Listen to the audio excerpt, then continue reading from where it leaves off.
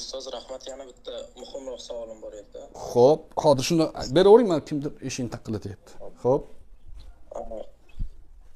aytaylik biror shifoxona qatnab ukol olganman. O'sha bitta shifokor menga har doim ukol qilib qo'yyapti.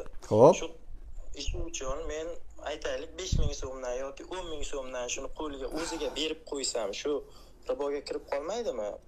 Chunki u shu ishi uchun oylik olyapti to'g'rimi? Ha o'sha oylik oylik oladigan joyda oyligidan tashqari pul talab qilsa pul talab qilsa joiz emas. Ribo bo'lmaydi pora deyiladi uni. Yoki o'sha ishlamagan mehnatiga bir narsa talab qilish bo'lib qoladi. Lekin talab qilmadiyu bir odam ko'ngildan chiqarib bir doktorga o'zi yaxshi shifo topgani uchun ukol qildirgani uchun ko'ngildan chiqarib shuni mehnatini qadrlab cho'ntagiga pul tashlab kelsa zarari yo'q.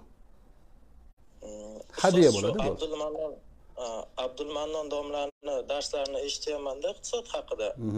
A, shunga bir hadisda aytdilar shu haqida.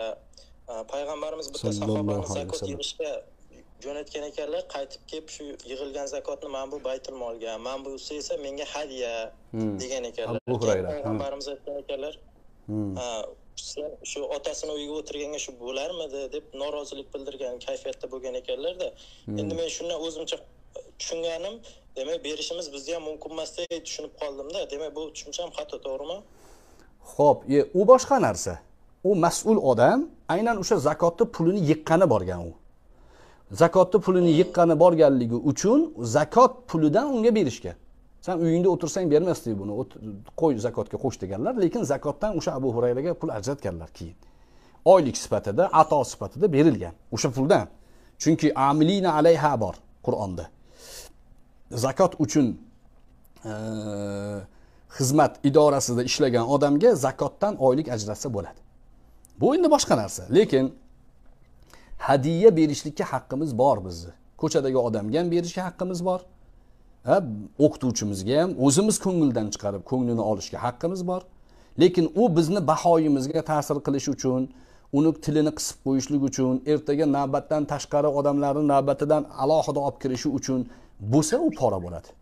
Ko'ngildan chiqarib sizga ukol qilganligi uchun qo'liga meni o'zimni shu doktorlikni hurmati ilmni hurmati o'laroq deb beryapman desa uni zarari yo'q. Tushunarlimi? Tushunarli. Ustoz keyin shu abdulmannon domlaning iqtisod haqidagi darslarini eshitganimda e, bir qancha sizni nimalaringiz bilan teskari tushib qolgan ko'rdimda. Misol uchun givlar bo'yicha shuni nima deysiz shu darslari haqida ustozni darslari haqida? Gi- giveaway to'g'risida man o'zlariga ham aytdim.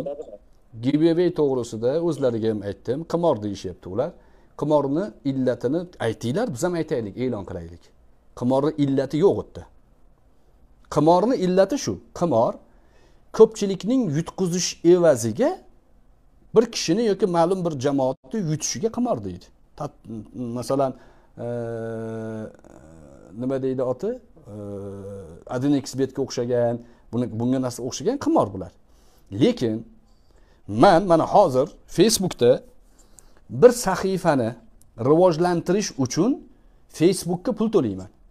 Ikki yuz dollar uch yuz dollar besh yuz dollargacha pul to'laydi 1000 dollargacha to'laydi. Ha? Target qilishadi. Qanaqa bo'ladi desa facebook sizni o'sha sahifangizni 10 million odam ko'rish uchun yuqoriga chiqarib beradi. Facebookni rasmiy anaqasi bu. Instagramda ham bor bu. Bu joizmi desa hamma joiz deydi buni. Nimaga? Siz sahifangizni rivojlantiryapsiz. Sahifani rivojlantirishni foydasi bormi? Bor. Reklama uchun qiladi ba'zilar. Biznes uchun ham bo'lishi mumkin. Mumkin mumkin. Ha giveawayda shunaqa qilyaptida o'nta odam yig'ilyapti. Hammasi o'rtaga pul tashlayapti. Man o'zimni sahifamni facebook orqali emas e, подписчиgi ko'p e, pro- profil orqali rivojlantirmoqchiman. U e'lon qilyapti. E, tashqarida e, bu giveawayga ishtirok etayotgan odamlar pul tikmaydi lekin mukofot oladi. Ular yutqazmaydi hech narsa yutqazmaydi. Mana shu sodda turishu to'g'rimi? Shuni qimor deyish uchun illat bo'lishi kerakda qimorni illati bo'lishi kerak. Bu haqida biz e, jamoa o'laroq zikr ahlidan so'rang jamoasi ayibxon akalar ismoilxon otabek aka o'shalarni o'rtasida abdumannon ham bor edi bir majlisda boshqa paytda yo'q edi. Man so'radim o man shuni qimor emas deb aytdim ko'p joyda. Ustozlar ular bizni ustozlarimiz. Shu masalada qimorning illati bo'lsa aytinglar e'lon qilaylik dedim. Yo'q hali aytishgani yo'q. Qimor deb aytish uchun illat bo'lishi kerak. O'sha majlisda e, masalan deylik bir mahsulotni sotishlik uchun o'sha mahsulotga e, haligi nima edi oti? E, e allanima shou degani bor ediyu. O'sha mahsulotga omad. Shou o'sha mahsulotga e, mukofot tikishadi. Sotib olgan odam mukofotni yutsa bo'ladimi? Joizmi deyishganda joiz man hatto o'sha mahsulotga e, aksisni yopishtirgandan keyin narxini oshirsa ham joiz devordim devoribman bir joyda. Keyin ustozlardan o'sha majlisda so'raganimda ular yo'q deyishdi. U narsani oshirsa o'sha oshirgan miqdori qimor bo'ladi taqiy usmoniyni matnini aynan abdumannon domladan oldi.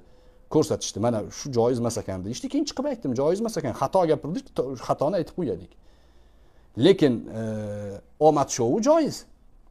Bir mahsulot sotilmayapti. Sotmoqchisiz. Nima qilasiz? Omad shouga aytasiz. U aksisni yopishtiradi. Mukofot tikadi. O'sha mukofotni mahsulot sotib olgan odam yutadi. Nima bu? Reklama. Joiz bu. Faqat e, bunaqa o'yinga o'ynalganda asl narxidan qimmat bo'lmaslik kerak. Asl narxida turish kerak. Lekin giveawayda unaqa gap yo'qda. Giveawayda qimor deyishyapti. Qimorni illati bor. Maysir. Maysirni ta'rifi bor. Maysirni. Yengil yo'l bilan pul yutish. Buni o'zini ta'rifi bor. Bir tomon yutqizgani evaziga yutish kerak. Bunda yutqizig'i yo'q. O'nta odam homiy bo'lsa o'nta odam o'zini sahifasini rivojlantirish uchun pul tikadi. Bo'ldi. Zotan buni facebookka tikib kelayotgandi giveawayda o'sha e, подписчиги ko'p odamlarga tikadi. Bo'ladimisa bo'ladi. Tushunarlimi? Ha tushunarli ustoz yana bitta e, mayli abdumannon domlani hurmati bor ilmli odam. E, bir masalani fatvosini beribdi deb eshitdim. Endi domlalarni nomini aytib bu gaplarni gapirish o'zi noqulay lekin shariatimiz dinimiz e, hammamiz uchun boshimiz ustida bo'lganligi sababli aytamiz. Masalan deylik hozir trak minadiganlarni e, anaqalari bor ularga yuk topib beradigan ularni e, pul tushirtirib pulini to'qson kunda yechib oladigan sistemalar bor. O'sha to'qson kunda yuz ming dollar pulingiz bor. To'qson kunda ola olasiz. Ba'zi firmalar bor sizga aytadiki to'qson ming dollar pul e, yuz ming dollar pulingiz bor a to'qson kunda olasiz man sizga naqd beraman uni o'zim olib olaman. Bo'pti deyapti. O'shanda nima deyapti? Masalan e, to'qson ming beraman o'n ming man foyda qilaman desa shunga joiz deb fatvo beryapti ekan. Ba'zilar. Bu joiz emas. Riboni ayni o'zi. Nasiya riboyi ham bor bu yerda ribol fazil ham bor. To'qson ming beryapsiz yuz ming olyapsiz. Mana shunga o'xshagan narsalarda e, muxolifmiz biz. Ya'ni e, shariatning asoslari qoidalari ustoz shogird an'anasidan ustun turadi. Ustoz shogird an'anasini parchalab yubormaydida u ham birodarlik ahli ilmni hurmatini joyiga qo'yish bilan turadi lekin shariatning qoidalariga qarshi yurmasligimiz kerak.